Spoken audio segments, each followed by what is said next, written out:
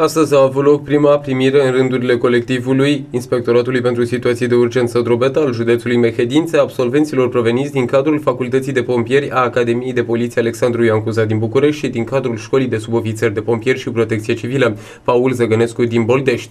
Doi ofițeri și trei subofițeri au ajuns la Inspectoratul pentru Situații de Urgență Drobeta și se alătură celorlalți pompieri mehedințeni în îndeplinirea meseriei pe care și-au ales-o, aceea de salvator de viață. Cei cinci pompieri, doi dintre aceștia ofițeri, ofițeri și trei subofițeri s-au prezentat astăzi în cadrul inspectoratului nostru. Uh, de astăzi își vor uh, începe activitatea în cadrul Inspectoratului pentru Situații de Urgență Drobeta, fiind repartizați în funcție de opțiunile acestora și nevoile inspectoratului, atât la sediul inspectoratului nostru, cât și la subunitățile de intervenție din uh, județul Mehedinți.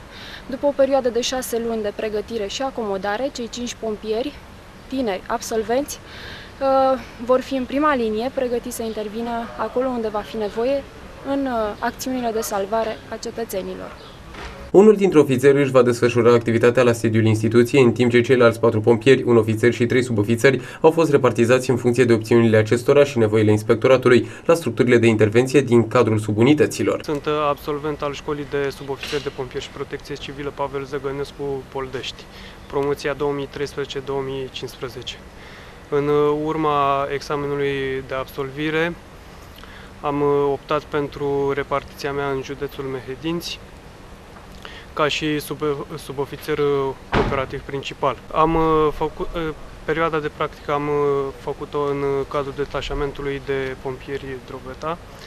Cunosc colectivul și de aceea am optat pentru pentru județul. De ce ați ales această meserie? Ce v-a plăcut în mod special? Sau? În primul rând m-a atras faptul că să salvezi o persoană îți aduce multe, multe beneficii pe, pe plan uh, sentimental, să, să zic.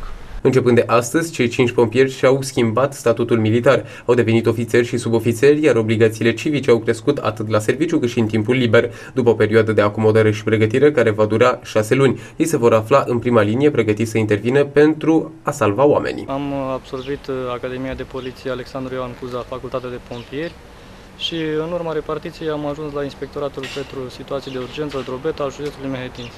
De ce ați ales această meserie? Eu am ales această meserie pentru, pentru a ajuta, pentru a ajuta persoanele din jur, a oferi ajutor și asta îți va aduce satisfacție sentimentală, pe plan sentimental.